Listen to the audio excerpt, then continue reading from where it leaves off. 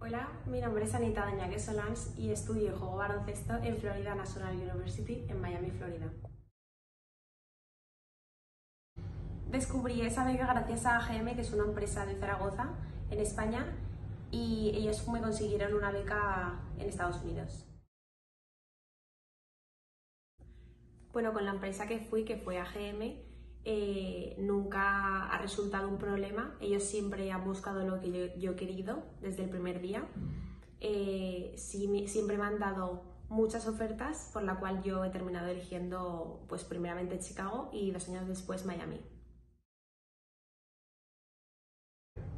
El proceso fue un poco difícil, ya que no sabía ni entendía inglés, luego tampoco tenía amistades y me tuve que adaptar rápido a la cultura americana.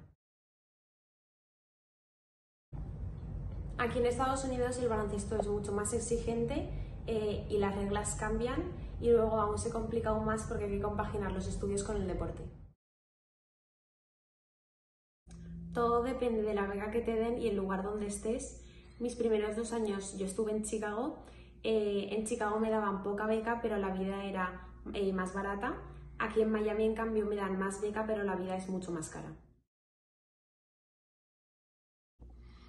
Compagino el deporte con los estudios y la verdad es que es bastante complicado, ya que me levanto temprano, me levanto a las 5 de la mañana para las 6 estar entrenando hasta las 7 y media y mis clases en la universidad empiezan a las 8 y media hasta las 12 y media y luego a las 2 y media tengo otra vez entrenamiento, o sea, es bastante complicado.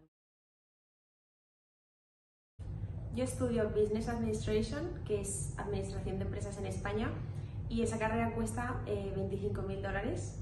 Mi universidad actualmente me está pagando todo, ya que juego y, estudio, pero hasta hace dos años me, pagaban un 70% de, bueno, de la beca y yo tenía que pagar el 30% restante.